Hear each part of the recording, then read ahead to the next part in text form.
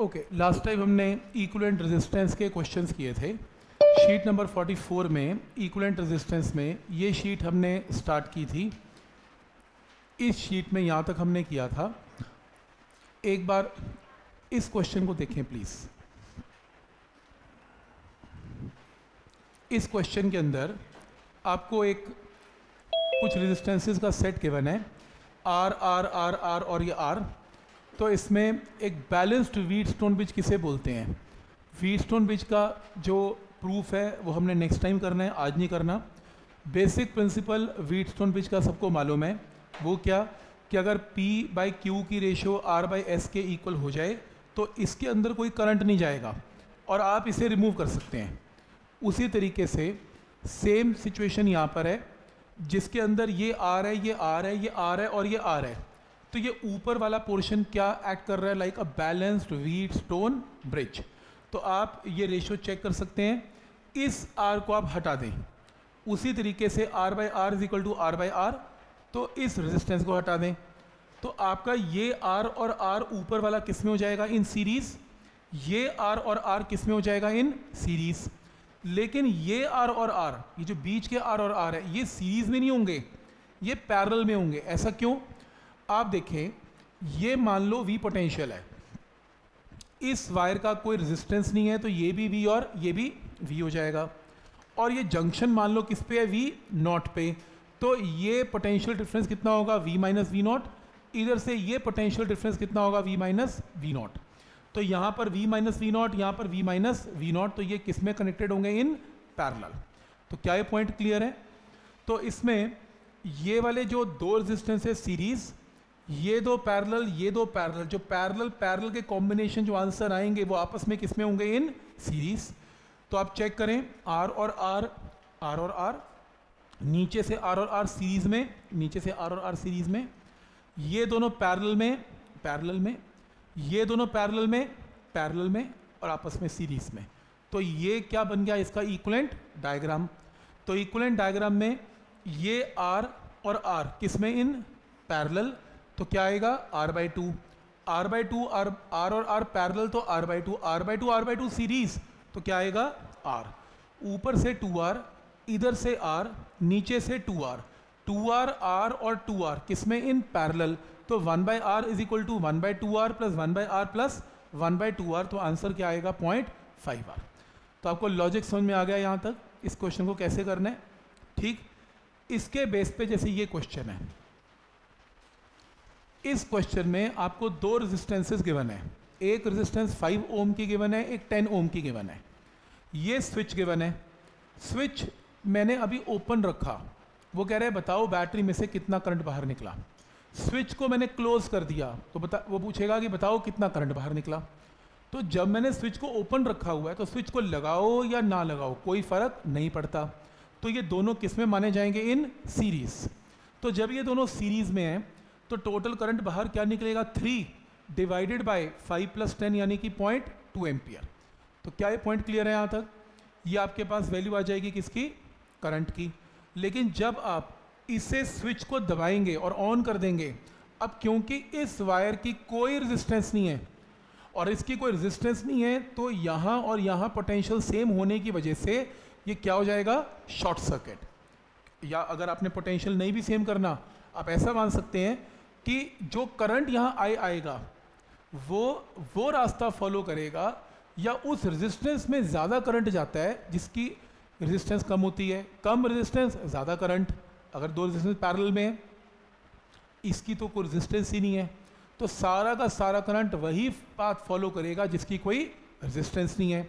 तो सारा करंट इसमें से जाएगा और इसमें से कुछ नहीं जाएगा तो हम क्या बोलेंगे? टेन ओम का क्या हो गया? शॉर्ट सर्किट तो यानी कि रेजिस्टेंस कितनी काउंट होगी? सिर्फ़ फाइव ओम तो यहाँ पर करंट क्या होगा? थ्री डिवाइडेड बाई फाइव तो क्या ये पॉइंट क्लियर है यहाँ तक? तो करंट जब स्विच ऑफ़ रखा, जब स्विच ऑन रखा तो कैसे करंट हमने निकाले क्लियर है? ठीक? तो नेक्स्ट जो क्वेश्चन है, आपको इक्वलेंट रेजिस्टेंस निकालनी है किसमें ए और बी के बीच में।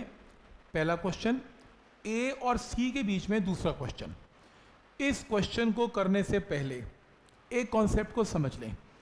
इस क्वेश्चन में जैसे सपोज़ करो आपको कुछ ऐसा गिवन है, कुछ ऐसा गिवन है कि ये एक रेजिस्टेंस है, ये एक रेजिस्टेंस है और ये एक रेजिस्टेंस है, ठीक है? ये बैटरी है, कुछ ऐसे, ठीक? और ये एक और रेजिस्टेंस है। अब अगर मैं कहूँ कि इसमें करंट कैसे जाएगा तो इस ब्रांच में करंट जाएगा। इस ब्रांच में करंट जाएगा, इधर भी जाएगा, इधर भी जाएगा, इधर भी जाएगा, इधर भी आएगा। लेकिन इसमें कोई करंट नहीं जाएगा, क्योंकि करंट को अपना सर्किट कंप्लीट करना है और जितना करंट बैटरी में से निकला, घूम के उतना ही करंट वापस आना है। तो अगर इसमें चला गया तो वापस कैसे आएगा? तो जो ओपन वायर्स होती हैं, जो कि सर्किट क्लोज नहीं करती, उनमें कोई करंट नहीं जाता। तो करंट अपना ये रास्ता फॉलो कर लेगा, लेकिन ओपन वायर में कोई करंट नहीं जाएगा। तो क्या ये पॉइंट क्लियर है? तो इसको लगाओ या ना लगाओ, कोई फ़र्क नहीं पड़ता। तो जब आप इक्वलेंट रेजिस्टेंस निकालेंगे तो भी इसका कोई कंट्रीब्यूशन नहीं माना जाएगा, क्योंकि इसमें कोई करंट नहीं है। क्या ये पॉइंट क्लियर है यहाँ तक?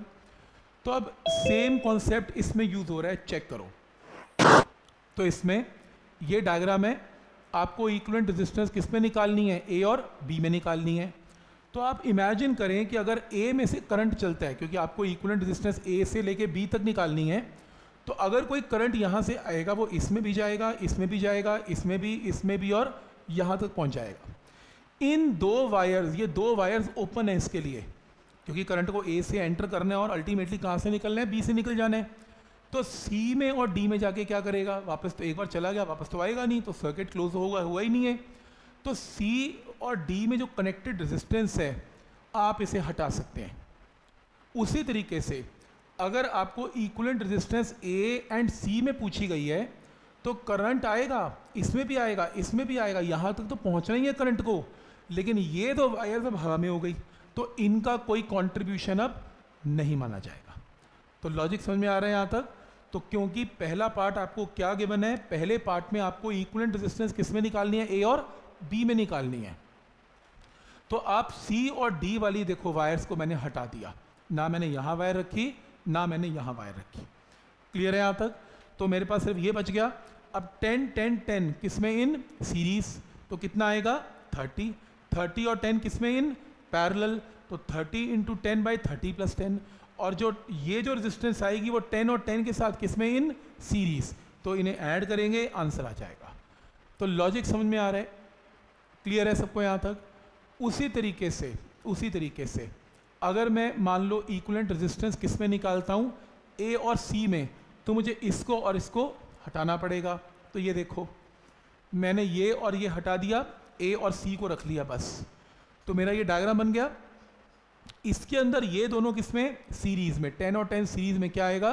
ट्वेंटी ट्वेंटी ट्वेंटी पैरल में कितना आएगा? टेन तो आपके पास क्या बना? टेन सॉल्व करके टेन और ये वाला ten ten ten ten in series तो आंसर क्या आएगा? थर्टी तो पॉइंट सबको समझ में आ रहा है कि कैसे करना है? ऑनलाइन वालों क्लियर है? यस सर ठीक है?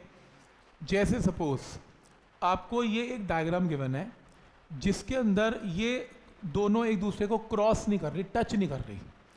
टच ना कर अगर टच कर रही होती जैसे ये टच कर रही है अगले डायग्राम में ये देखो टच कर रही हैं। तो ये जंक्शन कॉमन पोटेंशियल पे होता वी नॉट ये टच नहीं कर रही, ये एक दूसरे के ऊपर से निकल रही है, जैसे ये इसके ऊपर से निकल रही है, ऐसे, बिना टच किए। तो आपको इक्वलेंट रेजिस्टेंस निकालनी है, इसमें क्या होगी? किसमें ए और बी में। तो ऐसे आपको समझ में आएगा नहीं तो हमेशा की तरह वही, अगर ये VA है तो ये भी किस पे है? वी ए ये भी किस पे है? वी ए क्लियर है यहाँ तक? तो अगर ये V A V A V A तो अब इस केस में क्या करेंगे? इस केस में ये मान लो वी बी है तो ये वी बी और वी बी है। और ये वी ए ये वी बी पोटेंशियल डिफरेंस इसके क्रॉस कितना? V A minus V B इसके क्रॉस भी कितना? V A minus V B तो V A minus V B इधर से V A minus V B तो इसका मतलब ये दोनों के दोनों किसमें कनेक्टेड है? इन पैरेलल क्लियर है यहाँ तक? तो इसके अंदर टू और टू सीरीज़ में फोर टू और टू सीरीज़ में फोर फोर और फोर किसमें? इन पैरेलल तो अब चेक करो। इस टू को तो मैंने छेड़ा नहीं। इस टू को भी मैंने नहीं छेड़ा। ये टू और टू किसमें इन? सीरीज़ तो कित, ये देखो, ये सीरीज़ टू एंड टू ये टू एंड टू किसमें सीरीज़ और ये जो कॉम्बिनेशन आएगा फोर और फोर वो किसमें है? पैरल तो ये इसका इक्वलेंट डायग्राम है। एक ही बात है। तो टू और टू टू और टू सीरीज़ में, आपस में पैरल में। तो अब इसका इक्वलेंट रेजिस्टेंस तो निकाल ही लोगे। कैसे? ये दोनों किसमें सीरीज़ में। तो क्या आएगा? फोर। ये भी क्या देगा? Four. Two, four four, two. किसमें in parallel. R equivalent can be calculated. तो कैसे सोचना है? समझ में आ रहा है इक्वलेंट रेजिस्टेंस में आपको? अब सेम क्वेश्चन, अगर ऐसे आ जाए, ये देखो। अब वो वायर्स पहले एक दूसरे के ऊपर से निकल रही हैं। इस बार क्या हो रहा है? जंक्शन है। ये वी नॉट है। अब क्या होगा? ये वी ए तो ये वी ए अगर ये वी ए तो ये क्या? वी नॉट वी नॉट तो ये V A minus V naught इधर से ये V A minus V naught ये वी बी तो ये वी बी वी बी तो V B minus V naught और V B minus V naught तो अब ये V A minus V naught V A minus V naught ये दोनों किसमें in parallel V B minus V naught V B minus V naught किसमें in parallel ये दोनों पैरेलल आपस में जो कॉम्बिनेशन आएगा इन सीरीज़ तो आप चेक कर सकते हो, ये फोर है ये भी फोर है। ये फोर और फोर पैरल में तो क्या आएगा? टू फोर और फोर पैरल में तो क्या आएगा? टू टू और टू किसमें? सीरीज़ में। तो यहाँ पर क्या आएगा? फोर टू एंड टू किसमें? सीरीज़ में। तो फोर तो फोर फोर फोर पैरल में तो आंसर क्या आएगा? फोर बाई थ्री क्या ये पॉइंट सबको क्लियर है? कोई डाउट इसमें? ठीक? ऑनलाइन वालों को क्लियर है? Yes, sir.